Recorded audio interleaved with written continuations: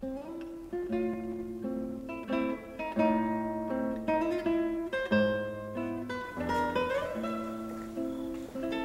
boy's name was Santiago. The night got cold as the boy arrived with his flock of sheep at an abandoned stable, where the roof had fallen in long ago and an enormous sycamore had grown inside it. Vamos, vamos pronto. He had always believed that the sheep understood him, but for the past few days he spoke to them about the girl, the daughter of a merchant who lived in a village they would reach in about four days. How are you feeling? You feeling better? I know this. You ready to see the world?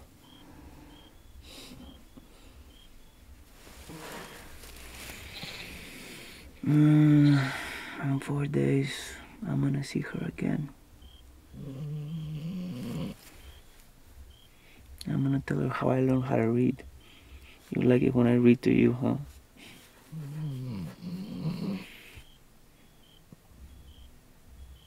Maybe she won't remember me.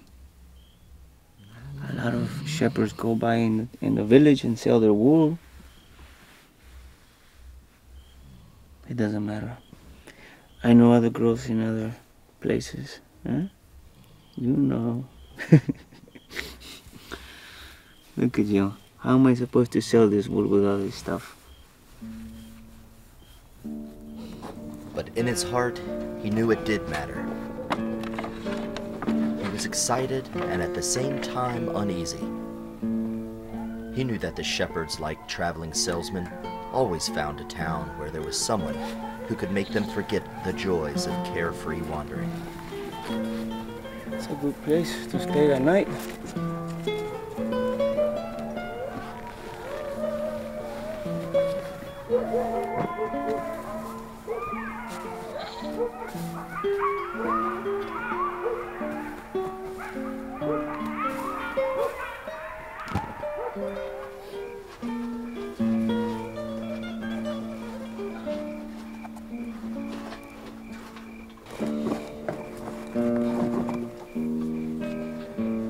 Tengo que leer libros más grandes porque duran más.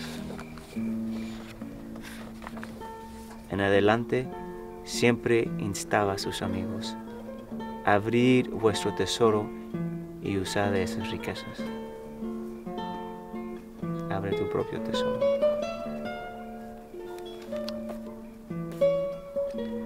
Abre tu propio tesoro.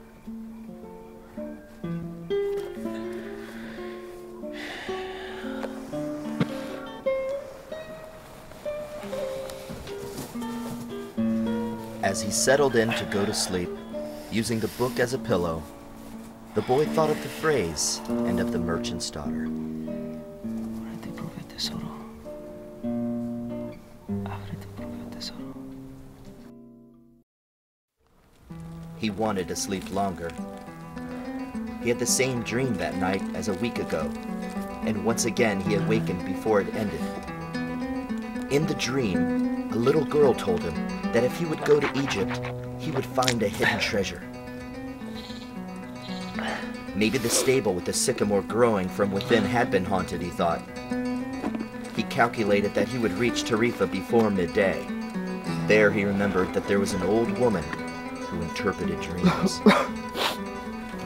Diaz, wake up. In Tarifa, he could exchange his book for a thicker one, shave, and a haircut. He had to prepare himself for his meeting with the girl, and he didn't want to think about the possibility that some other shepherd with a larger flock of sheep would arrive there before him and ask for her hand. These thoughts created an internal battle that ignited his fervor to obtain his treasures.